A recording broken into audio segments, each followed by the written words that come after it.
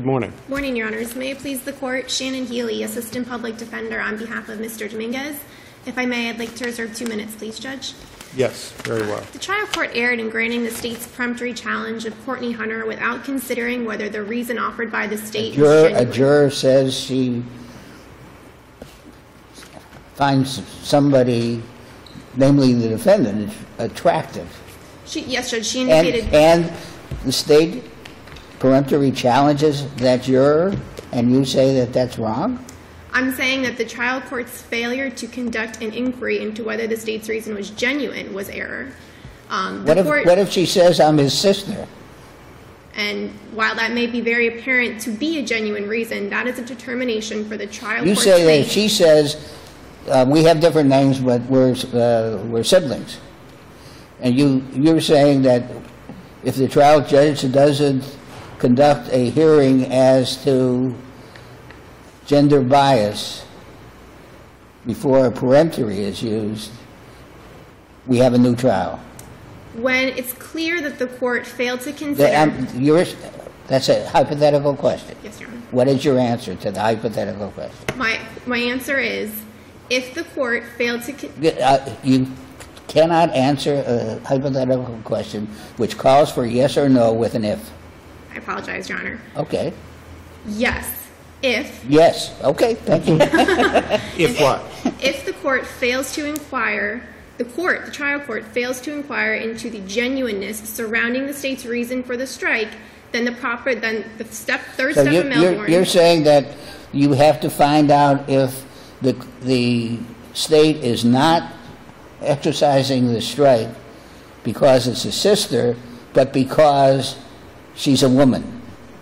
The court needs to look at the circumstances. saying yes. The court you- doesn't necessarily have to inquire, and I think maybe it's a poor choice of words. The court must consider the Correct, Your Honor. genuineness. And if it's clear on its face, then the court has considered it. Right. And then we have to determine whether, based upon the facts of this particular uh, voir dire examination, the court considered the genuineness. Correct, Your Honor, and I apologize if that was what Your Honor was referring to. I misunderstood. Correct. It's whether the court, whether the record is clear to this Isn't court. this perfect? I mean, this is a, this is a juror that the court could well have excused on its, uh, on its own. I mean, the, the, the prejudice, the bias, or the, let alone the basis for a peremptory challenge, it's not even a cause challenge. Right, Your Honor. Eh, eh, I mean, this is, this is silly. But ultimately, ultimately, the underlying rationale for, for the Melbourne Protocol is to ensure that there is no improper discriminatory purpose for a peremptory exercise, right? Yes. So your position is that the judge had to articulate somehow on the record that he made a genuineness determination and not simply a race-neutral determination. Well, not necessarily. The court didn't necessarily have to use certain words. No certain words are necessary to conduct the genuineness inquiry. So why, why can't we read this record and the totality of the colloquy with the lawyers and, and find implicitly the court did make a genuineness determination? Because, Your Honor, I think the fact that the court said, and I'm going to quote what the court said, we're talking about Hunter. I'm going to allow the state's challenge. They could basically have whatever they want. I'm sorry, it's a race neutral reason. They could basically have whatever they want as long as it's a race neutral reason. Yes. If the court had stopped, at, if, when the court was considering the colloquy, and the court noted she found his tattoos to be interesting, if that's all the court had said and then allowed the strike, I think that would be more akin to an implicit genuineness analysis. So you're saying that the court, by articulating they can have whatever reason they want as long as it's race neutral, shows a, a, a failure to consider that Melbourne requires an additional finding of genuineness. Precisely, Judge. I think that this is abundantly clear that the court only granted this strike because it was race neutral. Oh, that- However that- apparent it may That is, Except they were I'll have to say disingenuous. they- e- I except, have to say, I, I could say something worse than that. That is ridiculous. so, so, but in that, in the context of that conversation, they were actually talking about another juror, Well, right? the defense counsel tried to compare Courtney Hunter Right. to other jurors, but the court said, we're only talking about Hunter. I think that shows that the court failed to consider a relevant circumstance that she may have been similarly situated to other jurors. However apparent it may be to this court that this was exercised in a genuine manner. As noted by the Florida Supreme Court in Hayes, it's not the, it's the duty of the trial court to conduct the inquiry. Thank, And thank you informing, uh, for informing us concerning the law. I I apologize, Your Honor. I don't mean um, any disrespect to Well, the you, court. you should apologize for this case. Your Honors, I do apologize. Uh, Well, you don't have to. I think you should. You obviously don't think you should because you brought it. Yes, So- Your Honor, we, So what else would you have, what else do you think we should have found was required of the judge in order to comply with the dictates of Melbourne? I think a number of things could have been done. I think the court could have simply not said what he said. They basically get whatever they want as long as it's race neutral. I think the court could have gone into the comparison with other jurors. I think the court could have noted the racial makeup of the venire, prior strikes exercised against other African Americans. Just something that would suggest that the only reason this wasn't granted was because it was race neutral. Well, he, the judge did say they could basically have, he didn't say they can have whatever they want as long as it's race neutral, and I don't care whether their, the offered reason is genuine or not. Obviously, if they had said, um, Judge, he's wearing a red shirt, and that's why we're striking him, that would fall outside the basically have whatever reason they want as, as long as it's race neutral, because admittedly, having a red shirt is race neutral, correct? Yes. You're not suggesting the court would have allowed the challenge based on the wearing of a red shirt simply because of what the judge said on the record there, are you? No, Judge, but I just think the fact that this quote demonstrates the court only granted the strike solely because it was race neutral, failed to consider any relevant circumstances surrounding the strike, failed to, that means the court failed to comply with the third step of Melbourne, and on- uh, on its face, couldn't we determine that this was not a pretext? I mean, because it was such an obvious grounds for challenge, and there was nobody else similarly circum, uh, situated. In fact, the only juror that defense could point to was someone who said that the the defendant looked like a bouncer.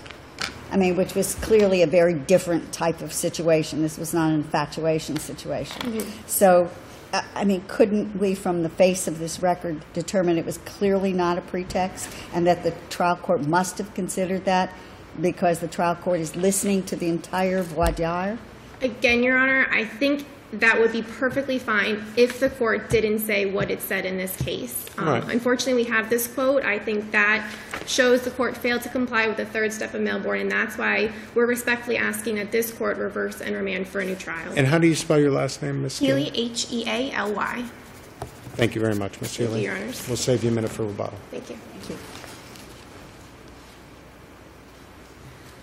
Good morning. May it please the court. Shane Burnham, Assistant Attorney General, appearing on behalf of the state of Florida. It seems that this court understands the state's position, and if there are no further questions. I have a question. Yes. Ms. Healy says that but for the court's last statement in that colloquy, this might well be an implicit genuineness finding. But the court did say they can basically have whatever they want as long as it's a race-neutral reason. Why doesn't that show, or, or show some evidence of the court's failure to consider the genuineness prong of Melbourne? Well, the trial court's statement that this is a race gender neutral, or a race Race-neutral neutral reason, Yes. Um, and therefore the state could have whatever they want, that statement alone would not vitiate the fact that a genuine analysis did occur. Well, where does it, where can we glean from the record that the court made a genuineness finding? Well, We may not agree with Melbourne, we may not agree that it's any longer necessary, but Melbourne does set out a specific step that requires a court, in essence, to make a credibility finding of the attorney exercising the peremptory, that the court believes the attorney is doing it for the stated reason and not for any other reason, right? right. Um, even if it is race neutral. There still has to be that finding that it's not being done pretextually, that it's being done for the genuine reason offered by the, the attorney. Correct. So And- where in the record can we glean that?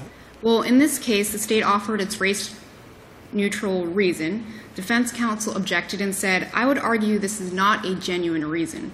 This is the third black female that has been struck from the panel, and therefore the trial court's granting of the peremptory challenge would implicitly show that the court considered the reason and found it not to be, to actually be a genuine reason. Furthermore, during the, the discussion, the court says she found his tattoos to be interesting. So that's really it right there. I- In other words, it's not something that, it's not a reason that was not self-evident to the court. It was something that the court not only um, saw or heard himself, but then, I guess, confirmed that what the state was saying factually was indeed correct. That is what happened, that she found his tattoos interesting. Yes, that's So correct. you're suggesting that because defense counsel previously argued, Judge, this isn't genuine, and the judge says, yes, she did find his tattoos to be interesting, that that implicitly reveals a genuineness determination.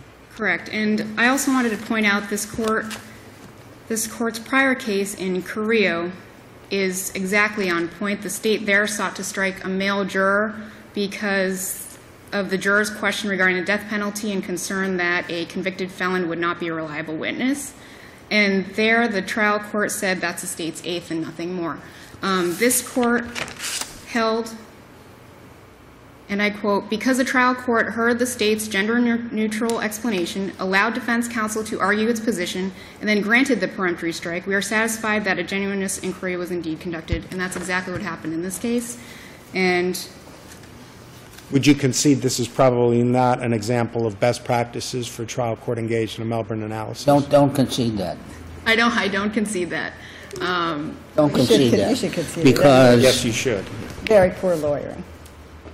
True. I will point out that Don't as- concede that, because if you concede that, then my statement about going back into every transcript will fade into insignificance, because we will, uh, a judge will have to be, a saint is not, is not enough. God. And never, and not- not, a word will not be able to be slipped out by mistake or omitted by mistake and no trial will ever stand. Signed, Kevin Emas. It's best not to comment on that one. right, right. Um, in conclusion, we respectfully ask that you affirm. Thank you. Thank you. Just very briefly, Your Honors, um, the Creo case, which I know Your Honor Judge Rothenberg sat on, um, there was a bit more of an ensuing discussion with the court regarding the state's reason for the strike in that case. I realize it's not the biggest distinction in the world, but it is one that we are relying on. Alonzo, which is also cited in the state's brief from this court, in that case, the court said it's race neutral, I'm going to allow it, but the court did engage in a comparison with that juror and another juror and found they weren't similarly situated. So based on those distinctions um, and the fact that the courts in those in those cases didn't say what the court did regarding the race neutral reason in this case, um, we'd say they're distinguishable and ask again that this court reverse and remand for a new trial. Very Thank good. you very much. Thank you both.